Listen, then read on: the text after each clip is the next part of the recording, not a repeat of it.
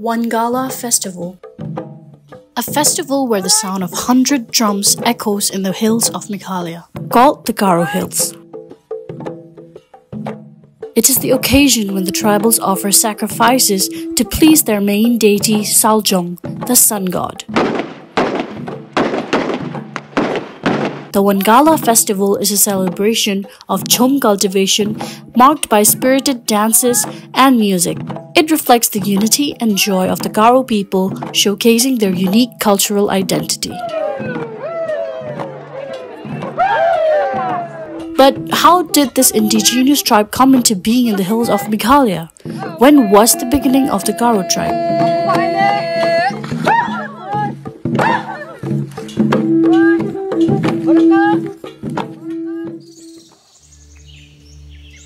To understand the origins of the Garo tribes, we must trace their roots back to the 5th century to the hills of Tibet, situated to the southwest of China and sharing borders with India, Nepal, Burma, currently known as Myanmar, and Bhutan. In the Xinjiang province lived a group of people called Achik Mande, meaning hillmen. They thrived on communal living and appreciating each other's company. They were excellent at both farming and hunting but farming was their primary source of food. The original language of the Garos belonged to the Tibeto-Burman language family. There is, though, no formal script for the language that exists today. Most of the age-old customs, beliefs, and traditions were passed down orally from generation to generation.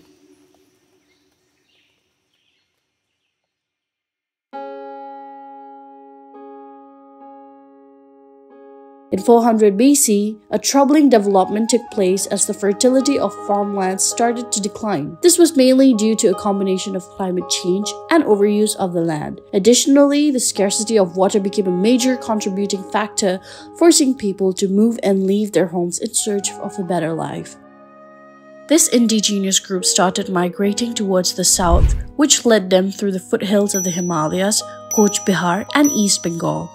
The Garos are the earliest human group that migrated into northeast India during the prehistoric period.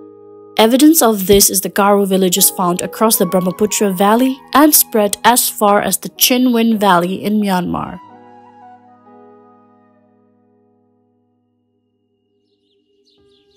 The Garos migrated towards the fertile valleys of Assam and Burma during 1000 BC. Among them, the group was divided into two main groups. The first group settled down in the valley of Brahmaputra for a long time. They named the mighty river Amawari, meaning the Mother River. It is often put forward that the famous Kamakhya was a Garo shrine before it was stolen by the patriarchal Aryans during the reign of the Koch kings. They gradually moved towards the south and finally settled in the hills due to their perfect climate and fertile lands, currently known as the Garo Hills. The second group migrated west during the 11th century from Burma through Nagaland to Arunachal Pradesh. It is believed that the Garos living in Myanmar constantly came under attack by hordes of barbaric enemies, which compelled them to shift towards Nagaland and Manipur states. Presently, the Garos are an integral part of Nagaland and have a unique culture, along with the Kacharis, with whom they have historically maintained a close affinity by virtue of belonging to the same Boro race.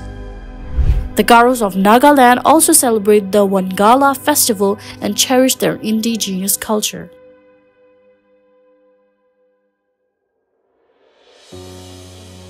Coming back to the Garo Hills situated in Meghalaya's western region, Tura town became the nerve center of the Garos. Previously known as Dura, late W.J. Williamson, the first assistant commissioner of the Garo Hills called it Tura, and thus everyone started calling it Tura. During British rule in 1872, a very brave freedom fighter from Garo Hills, Pa Togan Nengminja Sangma, played a major role in the anti-colonial resistance movement in northeastern India. He attacked the British officials along with other Garo warriors while they were sleeping during their occupation of the region. With the arrival of British missionaries in the mid-19th century, Christianity's gentle breeze began influencing the Garos' way of life, leaving ripples in their culinary habits, educational landscape, and sartorial choices. Now, the Garo Hills region is spread across 10,102 square kilometer where more than 15 lakh people live in Meghalaya. As well, there are villages in Bangladesh where Garo tribes have also thrived.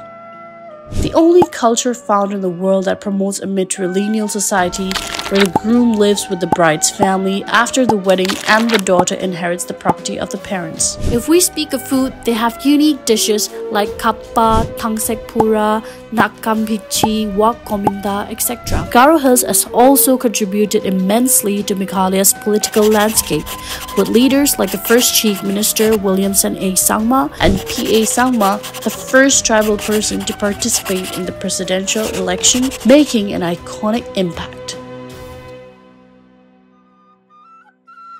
The road to success echoes the unity and spirit of the Garo people, the harmonious blend of nature, culture, and unity that defines this small yet remarkable tribe. From Mongolia to the plateaus of Tibet and to the hills of Meghalaya, their voices echo in the spirit of unity, enhancing the place they call home.